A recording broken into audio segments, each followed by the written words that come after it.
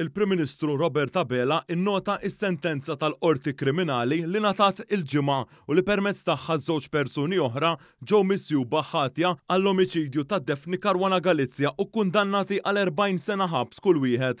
Il-Prim-Ministru nnota kif dan hu pass importanti ieħor lejn ġustizzja f'dan il-każ li hu tebgħa sewda fl-istorja ta' pajjiżna, spjega kif wara is-sentenza tal-Ġimgħa, issa hemm tliet persuni misjuba ħatja u kkundannati b'piena ta' priġunerija dwar dan il-qtil filwaqt li tliet persuni oħra għad irid jibda il-ġuri tagħhom. Il-Prim Ministru afferma mill-ġdid l-impenn ċar tal-Gvern li ssir ġustizzja mal-familja Caruana Galizia u mal-poplu kollu.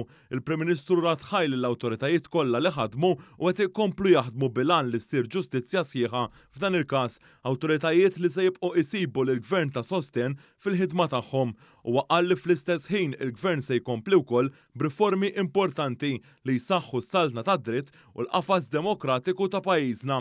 Sadanittant, fi tweet, il-Prim Ministru Robert Abela rrimarka li s-sentenza hija pass importanti ieħor 'il quddiem biex issir ġustizzja mal-familja ta' Daphne Caruana Galizia. Saħaq li l-Gvern jibqa' determinat li jara li ssir ġustizzja sħiħa għall-familja u għal Malta.